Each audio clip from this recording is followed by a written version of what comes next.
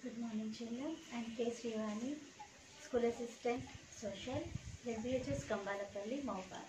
Today I'm going to teach you about globalization. This lesson is not only for obtaining marks and also you should know how it is influencing our daily lives. Let us enter into globalization. Globalization is a process of rapid integration and integration of nations and interlinking between nations. This integration and interlinking linking happens through trade. That means trade here, trade is the main channel of the globalization. In this process, MNCs plays vital role. A multinational company, it owns multinational company, it owns and controls the production process more than one nation. For this, I will I will explain you with an example. Suppose a large multinational company is going to be produced industrial equipments. So it uh, selects US it selects USA's research centers for the design, and after that it selects China for the manufacturing of the components.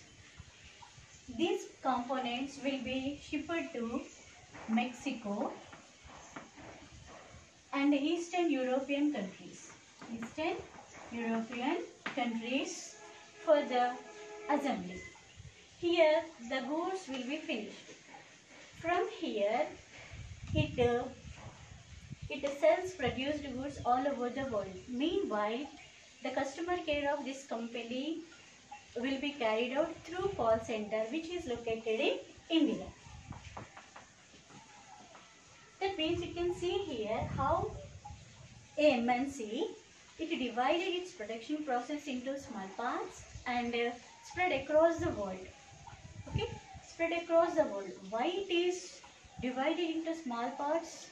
Its production process means to reduce its uh, cost of production and to get more and more profits. For example, in USA it can get uh, designers at low, at a low wages, and after that China manufacturing of the components. That means we already know that you also already know that in China with the using of high technology, using uh, the raw materials and all the equipments will be produced in a lower cost.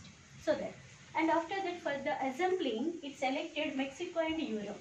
That means the finish after assembling the finished goods from here it can easily marketed. It can sell all the products easily across the world, all over the world. Okay. Next, that means here Mexico is the middle part of North America and South America. It is, um, uh, of course, Eastern European countries, Europe is the middle part of the world. So that uh, it can market its produ- products. And that is India, why India selected as customer care through call centers. Why it uh, located call center India means it can get well educated and English spoken youth at a lower wages. Okay. So that, that means always it is trying to reduce its production cost and uh, it is trying to get more and more profits. In the for this it is by this activity it is integrating the nations and uh, interlinking the countries. Okay. Next. Here there are three types of movements in the globalization. Number one is flow of goods and services. Number two is flow of labor. Number three is flow of capital. Explain everything. Flow of goods and services in the globalization. Flow of goods. Okay, produced goods will move all over the world.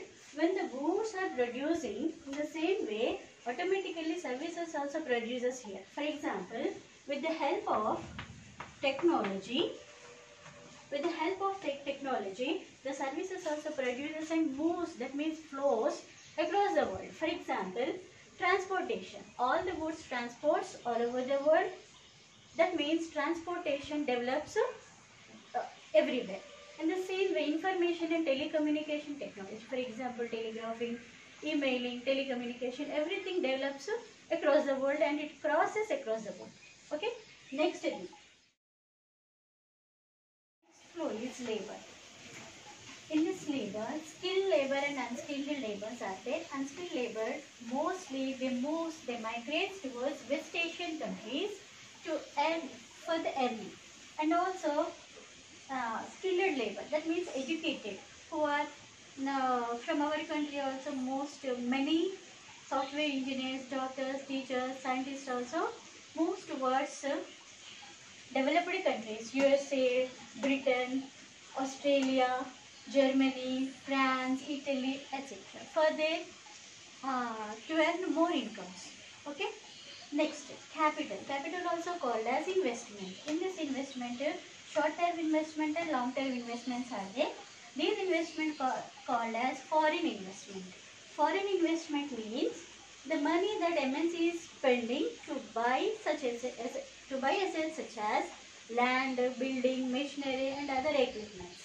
The main intention of the this MNC is to spend such to spend the money such an assets uh, that uh, they hope that they will give more profit to them. Okay, here I I'll explain with an example. Suppose Ford Motors. Ford Motors from USA. It manufactures Ford cars. It came to our country in 1995 with the with the investmenting of 1700 and 1700 1700 crores and it collaborated with Mahindra and Mahindra. Mahindra and Mahindra.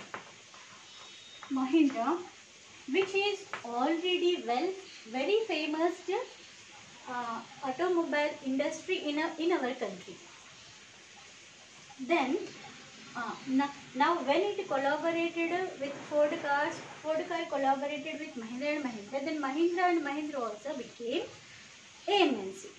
Now, within within nine years, that means from 1995 to 2004, the Ford cars were produced reduced a lot, but in nine years, in 2004, 27,000 cars were in Indian market and 24,000 cars were exported to other countries. Okay, that means it is expanded, the Ford Motors expanded till 2004 in 26 countries. 26 countries it expanded its production branches. That means uh, why Ford Motors selected uh, selected Mahindra Mahindra which is located at Chennai in Tamil Nadu. Why? Because it can get a raw material and other factors of production that means land, labor, etc. It can get very, very low cost. And also Chennai is a port city so that it can export its products easily and it can make international marketing very easy. So that, that means here it, it, it uh, uh, Ford cars try to reduce its uh, cost of production in the same way the Indian countries people compares to before now they are available to get Ford cars at a lower price. Okay? Now that means now next uh, there if the globalization has not only political dimension sorry not only economical dimension it has political and cultural dimensions also. For example Arab Spring.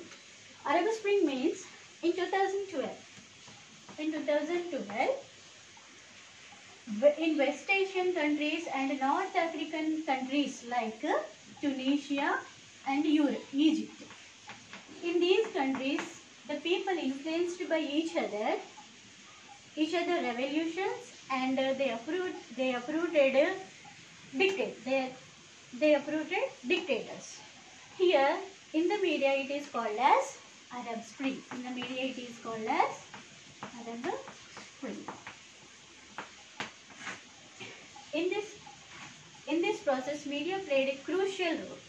Okay, not only in this country, in outer countries also, in other countries also, the people uh, also supported supported these people.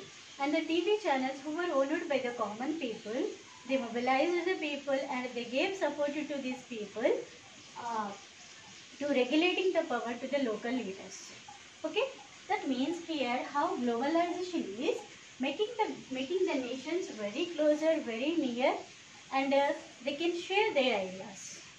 Okay, now uh, in the next uh, part of this uh, next part next part uh, in the next part I will tell you uh, how international economic exchange will controls and the merits and demerits of globalization, impact of globalization on India. I will tell in the next part. Now I am going to give you some work that uh, like Mahindra and Mahindra list out some Indian MNCs and show your teacher after reopening of the school.